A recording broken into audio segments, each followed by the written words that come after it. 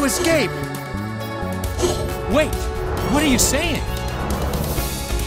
Run away! I can handle this!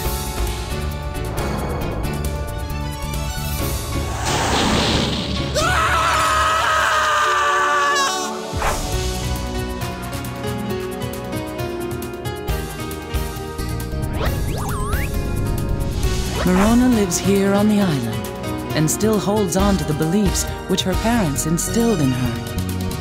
Trapped between life and death, Ash exists now only as a phantom. Wow! Look at them all! Looks like this one's the only job offer. Hmm.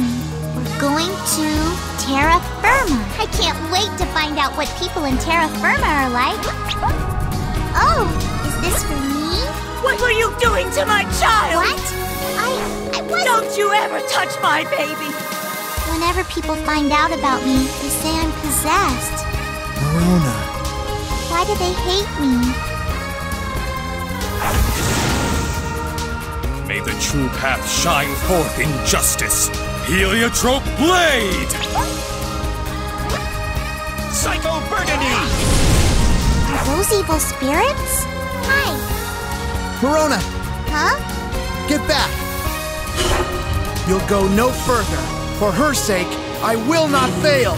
This is great, Marona. We can use this to help pay for our island. This is all so wonderful.